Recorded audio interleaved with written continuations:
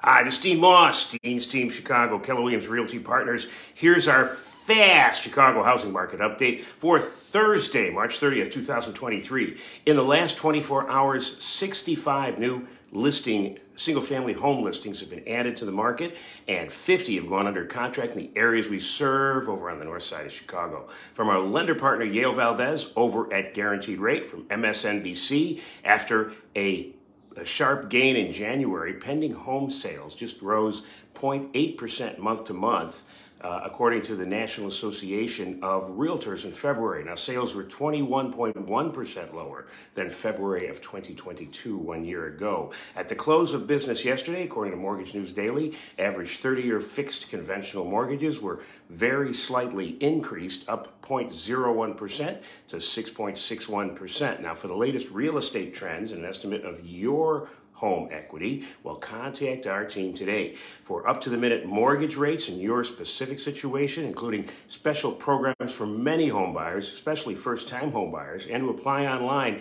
we'll contact Yale over Guaranteed Rate to reach either me or Yale. We'll just comment below. We will get back to you promptly and talk with you soon. Have a great day.